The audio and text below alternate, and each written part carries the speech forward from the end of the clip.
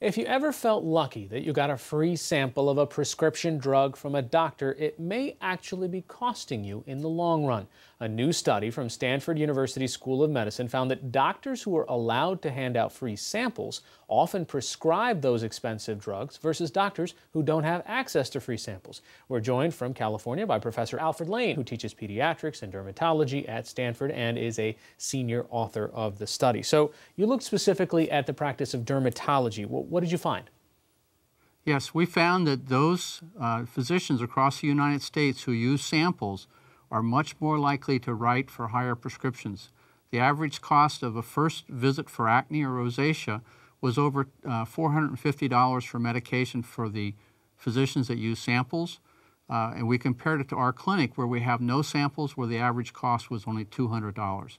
So at least twice more expensive uh, or the prescription costs from the physicians who use samples. And now this was focused on dermatologists and these particular, particular types of medicines, but how does this translate out? Is this a wider practice that's happening in different fields as well?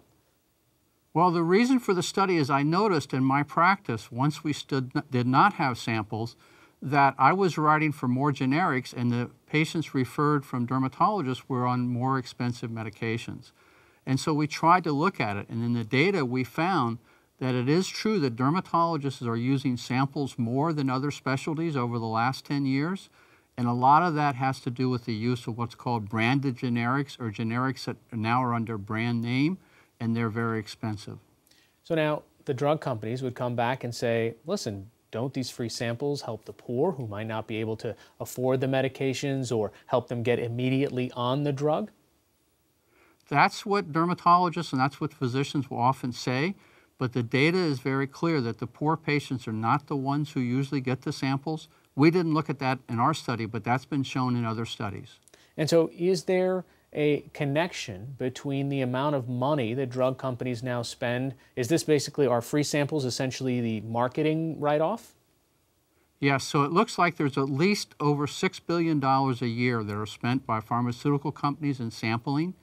And so that cost eventually has to be paid by someone and the price of a generic drug may be quite a bit less than the price of, a, a, what's called a brand name or a branded generic. And it's only the branded generics or the branded drugs that are sampled. So those are the ones that the uh, dermatologists are channeled into writing prescriptions for. And, and, what about the argument that this is the samples are also a way to get the most recent medications into the hands of doctors? Well, sometimes that's not the best thing. There are studies with cardiovascular disease that sometimes the recent medications are not studied as well, and the risk of death or dying from the use of samples can be there.